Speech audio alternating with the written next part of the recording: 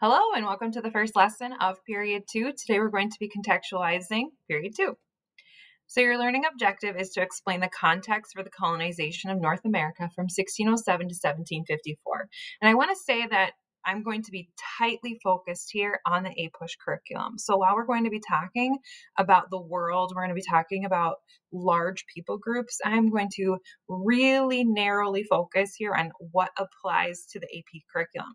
With that being said, I am also not going to address everything that could apply, but rather give you some parameters of what would work for contextualization. So we're going to start with a definition here, what it is. We're going to talk about what the societies were like before 1607, so prior to the start of this unit, and then we're going to end with transatlantic exchanges. So a review of contextualization is that it is to uh, students will need to analyze the context of historical events, developments, or processes.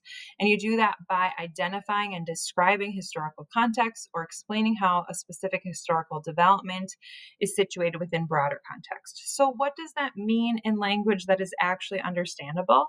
Well, it means that in this class, you're going to uh, come across maybe a, a small focus um, a small topic or a small time period. And what you want to do is you want to broaden it. So this often often happens in essays it often happens in your introduction paragraph where you're going to be describing what is happening around the time period of the prompt or what is happening before the prompt. A lot of times teachers use this uh, to describe it um, with like a set of dominoes, that the prompt might be starting with uh, the second or the third domino. And so for contextualization, you want to talk about what's happening before that that's going to knock down that domino.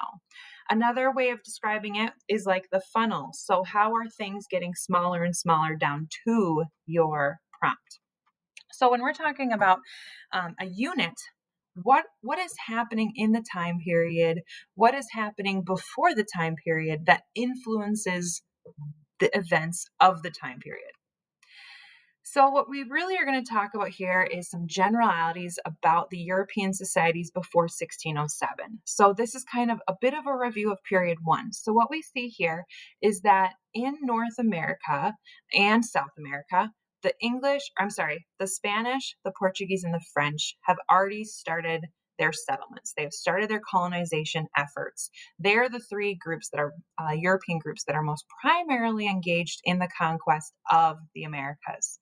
Um, wealth will be ger- generated in a variety of ways, most likely or most frequently in the Spanish Empire through precious metals and agriculture, and more common in the French Empire with uh, furs and fish. So, the English and Dutch are going to begin their colonization closer to the 1600s. And so um, we're not going to see them as prominent in the first exploratory efforts. Now, there is some changes that happen as well from the 1500s to the 1600s. In the 1500s, while there were permanent settlements, there was a lot more temporary explorers that were coming and going. And by the 1600s, we see more permanent settlements occurring. So, why did the English settlement begin later? Since this class is a U.S. history class, we're going to focus in on the English. Well, one reason is going to be the Protestant Reformation. So, the Protestant Reformation is kind of that split within the, the Christian church. And so, then there's the Catholic Church and there is the um, Protestant Church. And the Protestant Church then is going to subdivide into lots and lots of groups like um, the Puritans and uh, the Baptists and the Quakers. So, there's going to be a whole bunch of different groups groups that separate within Protestantism. But what happens here is that the English are going to formally become Protestant, whereas countries like Spain are going to remain Catholic. And so when Spain is colonizing in the New World and generating all this wealth for the Spanish Empire and converting American Indians to Catholicism, it appears as though they are more um, that the religion is more prevalent or better.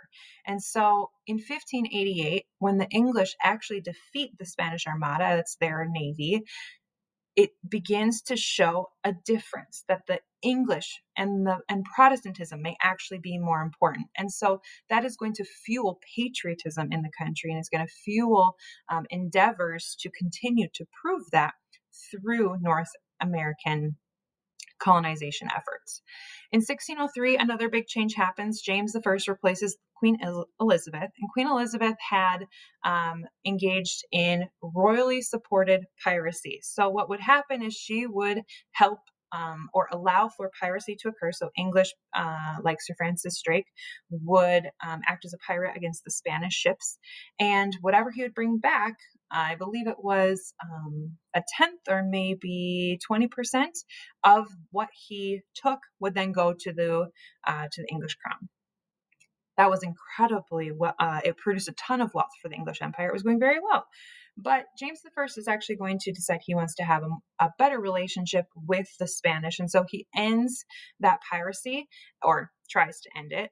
Um, and instead emphasizes actual settlements and allows for the creation of the Virginia Company, which is a joint stock company. You can check out that term uh, in my VIT playlist, my very important term playlist, if you need a little bit more information. But basically, it allows for instead of just one person to try to um, pay for and take all the risk of a of a North American settlement. It allows for a group of investors, a joint group, to invest together, share the risk, share the profit.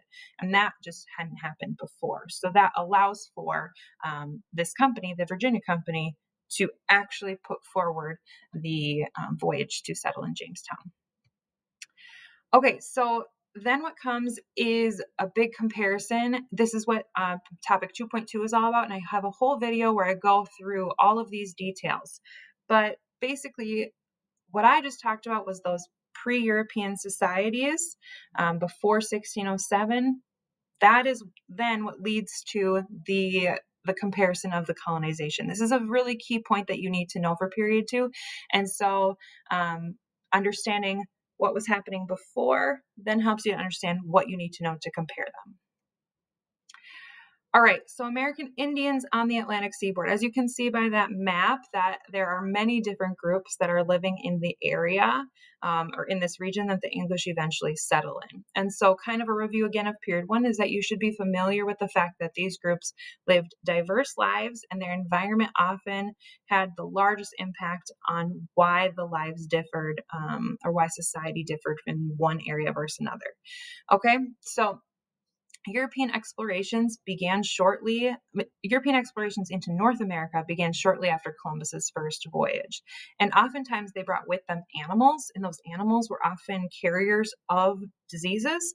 And when those animals would get loose from the, you know, from where they had landed, they would continue, they would actually spread the diseases into the interior. And so often diseases actually um, affected groups before Europeans had even gotten there. Um, and that happened in some cases.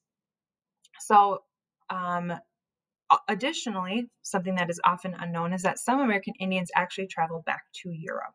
And so they um, would then uh, sometimes come back to the Americas as translators and would be able to be kind of a go between between different groups. So, all this to say is that there are diverse expectations and reactions to Europeans. In some areas, they're more welcoming, in some areas, they're more resistant. And um, that is really important for understanding how our 13 colonies end up differing is because the groups that they interact with impact how um, how much conflict they will face in the area. Okay, and then finally, another understanding of Africans prior to 1607. Um, by 1607, the west the west coast of Africa has very strong trade networks with the Portuguese, Dutch, and English. And what we see happening for sure by 1600 is that there has been a shift in the slave trade. Prior to this, um, females were more likely to be enslaved and they were more likely to be traded to the Middle East. But now, as of 16, as the 1600s develop, more males are going to be enslaved and they're going to be sent to the Americas. So we see a big shift in the African slave trade. The first transatlantic voyage does begin in 1526, although the first um, Africans to be purchased in um, the English colonies won't happen until 1619. What happens in Africa, though, as a result of this, is that the European demand for enslaved persons fueled warfare. And so there was a slave trade happening before this European demand, but now that the Europeans demanded so many persons um, and were trading goods like weapons, um, American Indian tribes, I'm sorry, not American Indian tribes, Africans were then going to war in order to get people um, to sell to put into captivity versus prior to this um, warfare would have already been existing and people would have been taken in as captives as, as a result. But now they're going to have more warfare in order to get captives. Up uh, in that picture there is elmina castle in ghana and that arch that you see there um, is uh, something called like the the door of no return. And so that was often the last passage out of africa that many enslaved enslaved persons would have seen Okay, so wrapping up here, transatlantic exchanges. This is also a key kind of broad idea of what is happening in the time period. So there's commercial, religious, philosophical, and political exchanges that are happening across the Atlantic. And here are just four of the main ones that you should be familiar with. So mercantilism is this economic policy where a country is going to um, seek to increase their exports and decrease their imports. And so colonies were a huge part of that because for example, England, much of their land was settled and they had a real lack of raw materials. So they're able to then gain raw materials from um, North America. And that's not considered an import because they're part of the British Empire. So it's a way to increase the amount of materials that they are able to then import to others. Triangular trade is another key term for this uh, unit, understanding the pattern of commerce. So, thinking about how um, primarily raw materials are going to Europe and manufactured goods are being sold to Africa, and then um, people are then being sold to the Americas. And so, it's a pattern of commerce between the three continents.